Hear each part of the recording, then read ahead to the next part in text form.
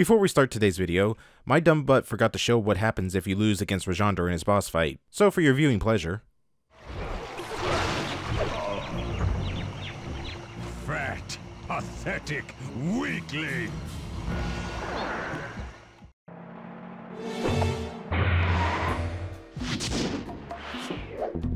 Hey everybody, TBG Hunter here, and welcome back to more Sly 2 Band of Thieves. Last time, things didn't go quite as planned.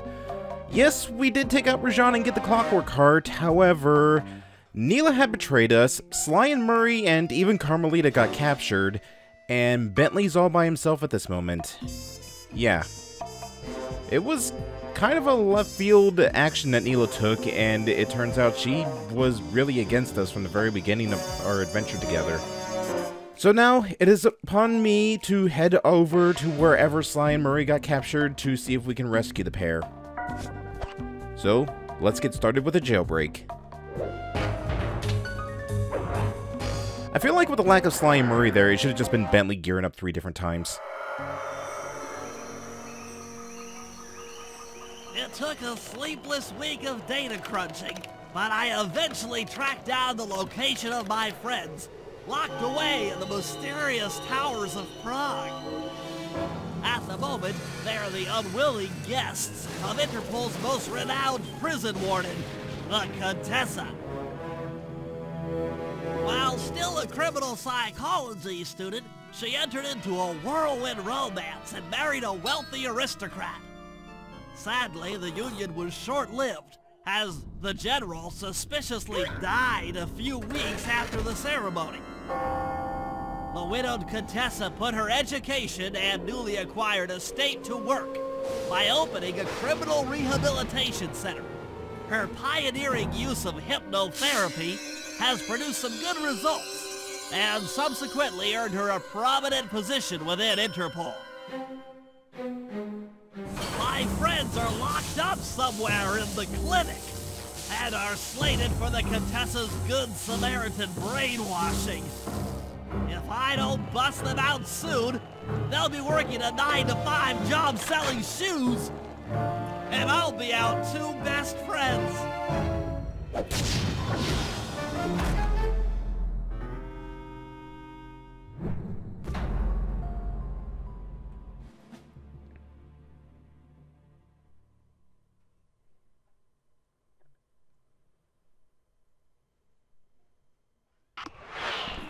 Ladies and gentlemen, boys and girls, and all under-identifiable genders, let me introduce to you the worst level in the entire game, although I do have to give it props for its uniqueness. I'm gonna let you know right now, I hate the prison level. I absolutely hate it, and it's not because of some reasons people might think, yeah, it's kind of a, a, sterile level design because it's based around the giant prison up over on yonder hill, but also because of a childhood trauma this level gave me. Uh, before we talk about my childhood trauma, though, uh, let's see what's on the net.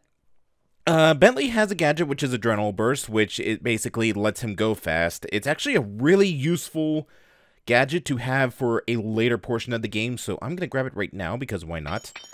Uh, we got the alarm clock for Sly, which uh, will allow you to toss it and distract guards. Which I still think that's probably what that uh, that fake Sly gadget that I still remember, but no one ever seems to believe me that it existed. Uh, turned into. So we'll grab that, and finally this. This is such a trollish placement of a gadget in the entire game that it is just insane. Atlas Strength for Murray. Atlas Strength allows you to jump while carrying somebody, or something. You know, the thing that would have been super useful back when we were in the jungles of India. We don't have the money for it right now, but just let you know uh, that it's there. It also actually has a hidden thing that a lot of uh, that it doesn't actually tell you in its description. Not only does it let uh, Murray jump while carrying enemies I or. should make my way over to the Contessa's house. Maybe I'll pick up a few leads on the location of Sly and Murray.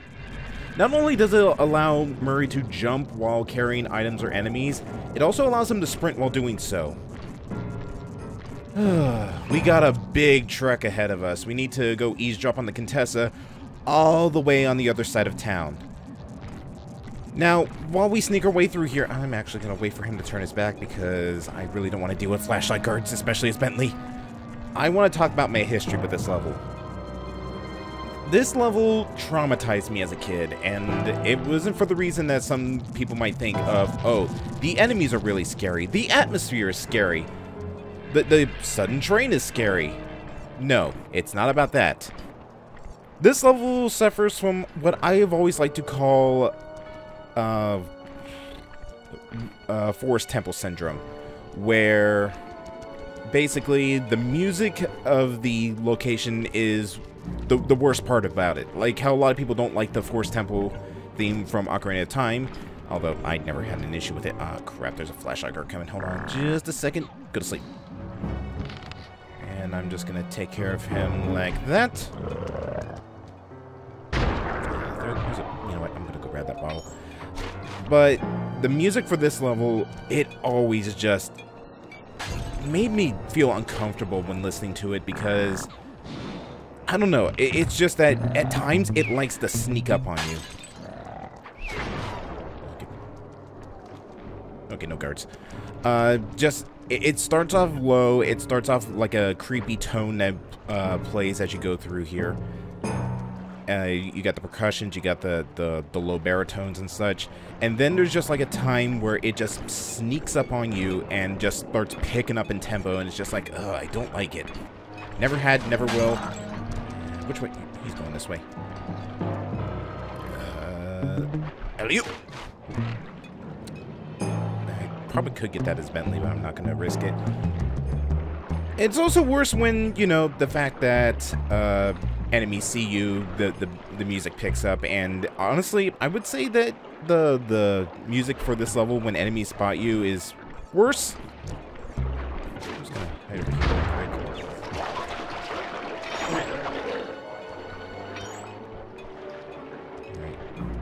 That clinking's gonna drive me crazy because it's just like, it's right there. Just get it, Bentley. Also, speaking of getting it, I probably should get the adrenaline burst.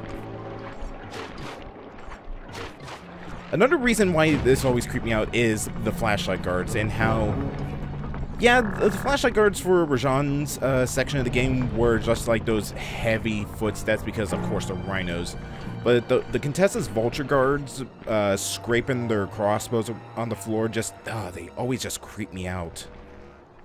Let's see if I can sneak up on this guy. Alright, go to sleep. I missed! Alright, fine. Ow. Alright, well. Oh, nope, it did not work.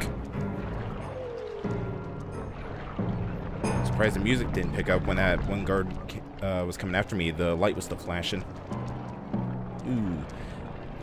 Alright, just gonna wait for this tank. Yeah, the Contessa has enough money to have her own personal tank guard uh, go around her house. And let's just sneak our way up to the rooftop and get some recon done.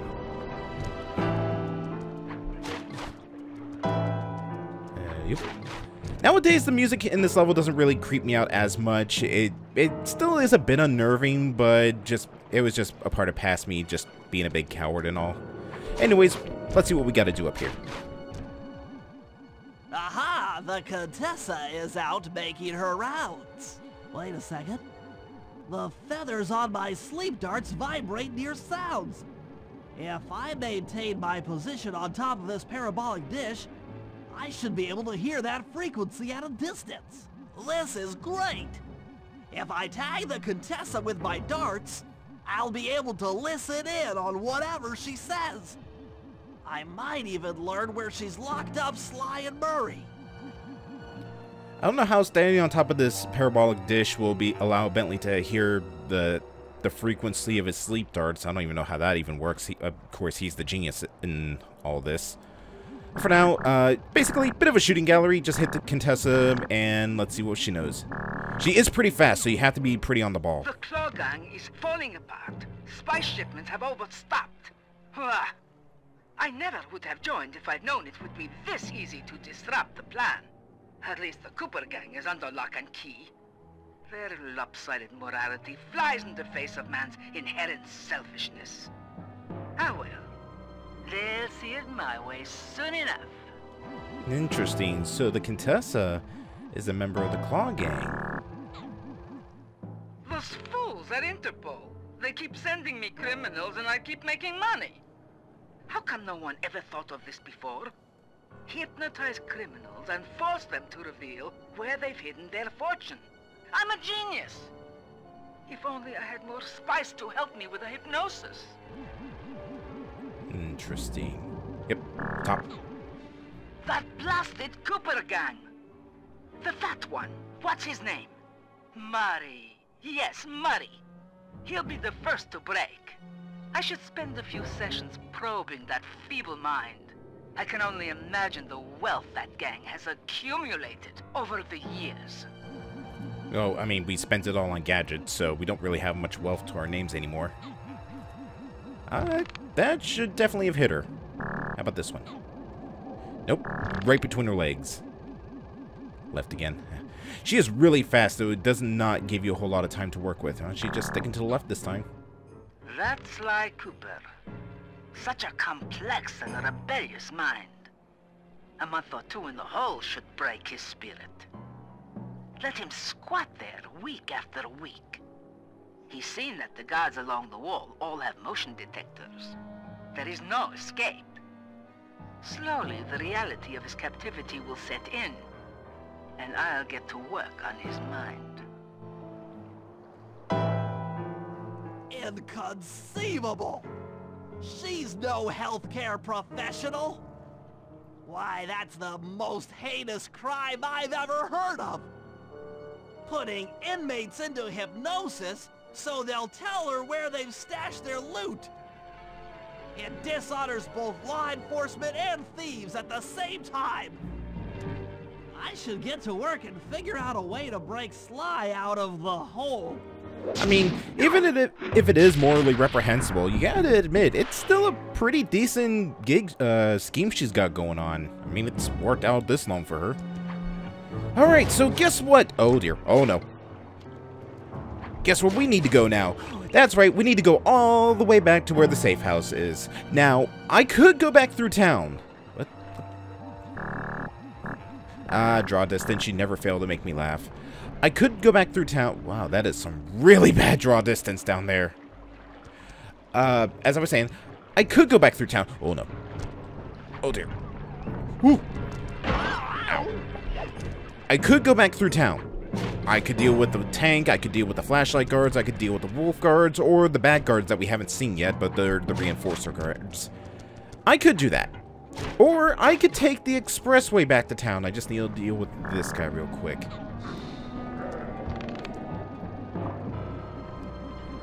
Unless... Where is he? Oh, he's going all the way up here. Alright. Now, this is a nifty little trick that I've found out myself. Uh, we have to wait for our ride to get here, though. I think it's coming towards us, not away from us. Oh, no. I'm just gonna put that there as a precaution. I feel like we're gonna have some uninvited... Nope, he's just staying down there. Alright, so the train that you've been seeing go by. I want to wait for it to come out of the tunnel. Jump on down to it. And we're just gonna ride the train all the way back to the safe house. It's best to stick to the side so the pylons up there don't zap you. I probably wasn't a safe spot, but now I am kind of screwed and I have to take the long way back. Oh, never mind!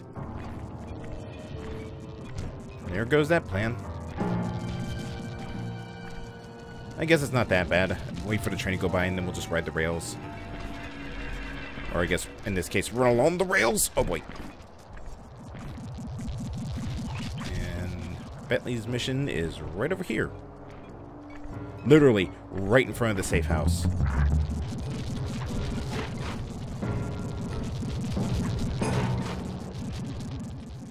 That computer is part of a control system for the electromagnetic train.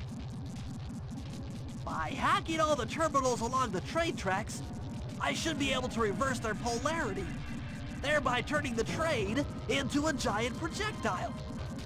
Without question, its impact on the prison walls should create a hole large enough for Sly to escape through. Uh, where is he go? Where? What? No, look out! There's a tree! Oh. Ooh, yeah, you definitely should not be running on train tracks, especially if they're used. Well, I kind of feel bad for that flashlight guard. Anyways, it's time to start probably what I would say is my least favorite type of mission. Bentley's hacking. Ah, nothing like a good computer hack job. Now, the left analog stick should control my cyber avatar. And just lock it right in place here. I'll have to hack through these barrier nodes. I should move the right analog stick in the direction I want to unleash my hacker code. Now, I have to say this right now. I was never a fan of the hacking minigame in this game. I could tolerate it in the first Sly game. It, it was a fun, unique thing. It had some fun music going on with it. But I, I always just found the hacking in this game to be really boring until a later point in the game. Also, at times, kind of, mm, how should I say this? Ridiculous to a degree. That's one down. The train should be picking up speed. Yeah, you're coming down this way. Of course you're. What is going on with your lantern candle thing? Of course, your friends come alongside you. Uh, let me see if I can just trick jump over here. There we go. Kind of worked out in my favor because the terminal is right here on the other side of this bridge. Uh, Bentley, you know you should be pressing the key uh, pads, not just the air next to it, right? Oh, well, he's the master hacker of the team. What do I know? I've never hacked into anything. on record.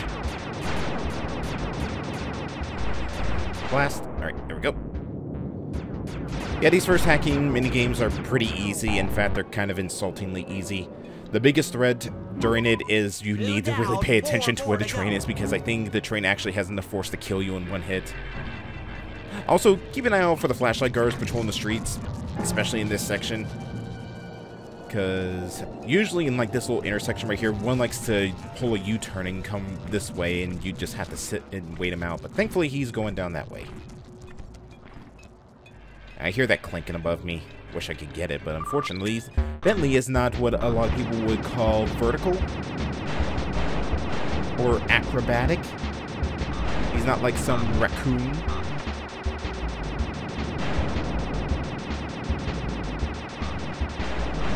Here's why I like to reference as when it's a little too over encumbersome and a little annoying because it's just like you need to take your focus off the, the wall to deal with the enemies that just like the head rush right into you. That should speed up the train by at least 50%. Cool. Makes my job harder, though. Best to try and stay to the edge of the tracks. Don't try and run down the middle if, as best you can. Because it's going to get a lot faster at this point.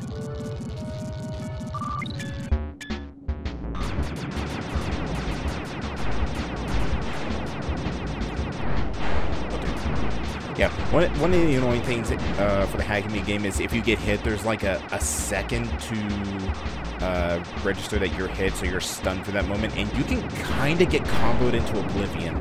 Like, I've had multiple times in the past where I've been hit by one of these old fast guys, got shot by the, the ones with the turrets on top, and then another one just comboed right into me, and it was just, oh, it was ridiculous. But this shouldn't be too bad. We should be able to break through this before the nope, next wave's coming. Pathfinding for these things is also pretty precise as well. They are sometimes stupid. Oh dear. But for the most part, they know exactly where to go to hunt you down. Right, we should be able to just sneak our way right into here. Just two more terminals. Alright, up there it goes. Uh, I'm gonna sneak up here real quick. Not gonna even risk going through that tunnel because I know for a fact. Yep, there it goes. Alright, now we can go.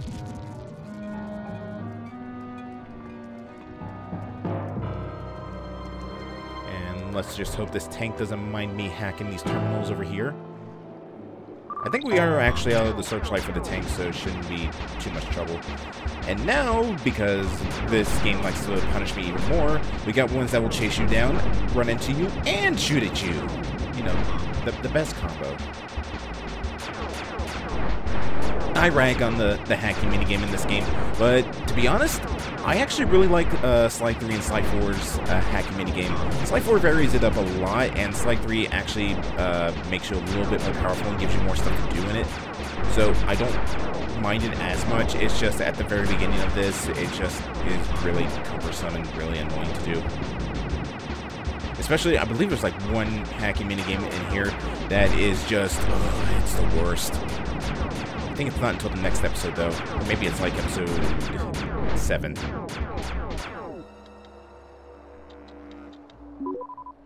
Yes, the train's at full speed. Now, on to reverse the field's polarity. Uh, yeah. As much as I would like to ride the train at max speed back and forth on the rails, uh, might as well get this job done. And hopefully not get shot by a tank.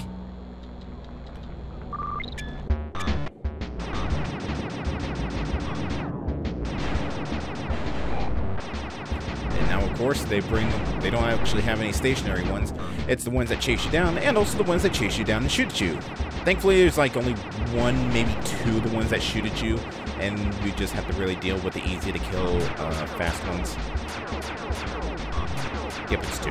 Okay. Either way, we're done. So let's launch this train, shall we? What a beautiful trajectory! Hopefully no one was riding it.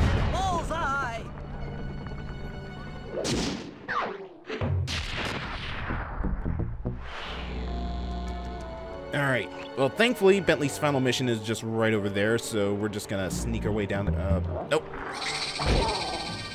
Well, there's the reinforcer and what he does. I think he's actually the only reinforcer that doesn't use a megaphone because, you know, he's a bat. He's already loud.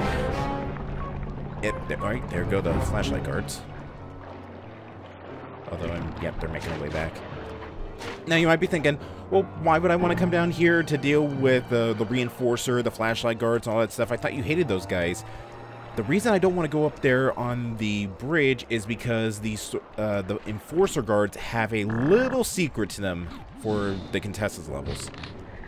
They like to disguise themselves as statues. You see these wolf statues back here? Yeah, on some of the rooftops and especially on top of that bridge up there, a couple of them are actually guards in disguise and you don't know which ones it is until it's too late. They do actually have like an indicator of like the sneaking sound uh, will play if you're near one and the little radar thing will go off by your icon.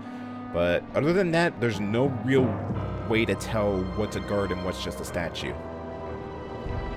Anyways, time for more murder. All the guards along the prison wall are outfitted with a motion tracking device. What is going on with their necks? There's no way for Sly to escape. Unless I take those guys out with my RC chopper. What's that? Someone flying an RC chopper? Kill him! I seriously have no idea what's going on with some of these guards' necks. It's like it, they got stunned or something, or got something going on with them. This mission's kind of annoying, I have to admit, because the flashlight guards are kind of accurate with their shots. I'm surprised that a crossbow is able to do this much damage to an RC chopper and also be this accurate from the angle that they're shooting at because they don't use their arms, or I guess in this case their wings, they shoot from their feet. Honestly, with how much evasive maneuvering you're doing, you don't really have to worry about the missiles. It's the shots from the guards, and you're really right there. Okay, fine. Get out there. Get him? Nope. I, I disagree with how that shot came out of there, but alright, whatever, he's dead. And I'm almost dead too. Bentley, I hope you got insurance on this thing. All motion sensor is offline.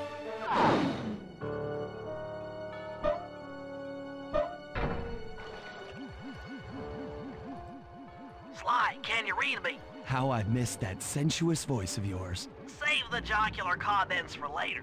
Do you see that hook above the train? Yeah? It's your only means of escape. Jump and hit the circle button to grab hold. Then swing onto the back of the train. I've already established a safe house and downloaded its GPS coordinates into your binocucom. We'll rendezvous there. Wow, you've really thought of everything. Don't I always? Yeah, you do. Thanks for busting me out. Oh, well, you know the old saying, if you can't count on a friend to bust you out of jail, what kind of a friend are they? Truer words were never said, wizard. That's that's a nice little callback. I really like it. Also, you know, it's nice of the Contessa to uh, imprison Sly with its cane, his gadgets, his binocucom, and basically not put him in like prison attire. It was really considerate of her. And also, you gotta think, how long Sly been in prison for? Because it was like we went from the jungles of India, so that had to take a while. I'm, I'm gonna guess they got flown to Prague, so it would be like maybe like a two, three hour flight. And then uh, it took a week of data crunching for Bentley to even find where Sly and Murray were taken, which, you know, a week. And then Bentley had to make his way out of the jungle and all the way to Prague in the team van. He didn't fly there, so I'm going to say that was probably a couple day trip. So I would say Sly's been trapped here for maybe half a month.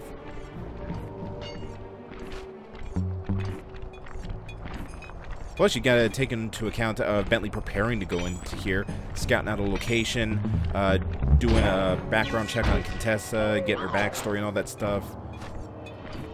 Yeah, uh, I'm gonna say that Sly Murray had been here for about a week, uh, about a week, maybe two weeks. Uh, I hate the fact this place is so heavily trafficked. You know what? Uh, give me the alarm clock. Me take the stupid stealth slide off of me because I always found it just pointless. And unfortunately, you guys are not carrying any shinies in your pockets, so... Oh, of course he is. Dare I? Dare I? I don't dare. But I will take him out, though. Time to run.